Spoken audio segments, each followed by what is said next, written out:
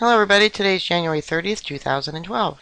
Illinois' nuclear reactor loses power and is evidently venting radioactive steam. A nuclear reactor at Northern Illinois plant shut down Monday after losing power and steam was being vented to reduce pressure. Not a good sign, according to officials from the Exelon Nuclear and Federal Regulatory. Yep, let's build some more. And let's put them right on fault lines, okay?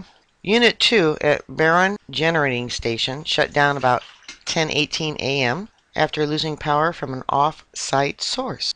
Exelon officials said diesel generators began supplying power to the plant. Equipment and operators began releasing steam from the non-nuclear side of the plant to help cool the reactor, officials said. Even though the turbine is not turning to produce electricity, you still need to cool the equipment, said the U.S. Nuclear Regulatory Commission spokeswoman, Victoria Mitlyng.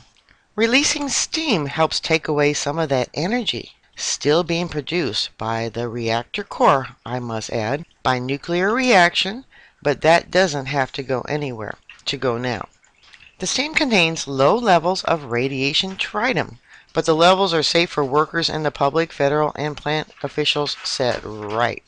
As a side note, tritium is also hydrogen. Remember what happened in Japan, Fukushima? They had hydrogen explosions. Naturally occurring tritium is extremely rare on Earth and has a half-life of 12.32 years supposedly. But we don't have to worry because there's no such thing as safe levels of radiation, right? Unit 1 was operating normally while engineers investigate why number 2 lost power, which comes into the plant from the outside power grid. Ting said smoke was seen from an on-site station transformer.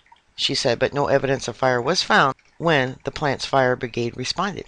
Exelon spokesman Paul Dempsey said, There is no reason we can pinpoint right now for the power loss.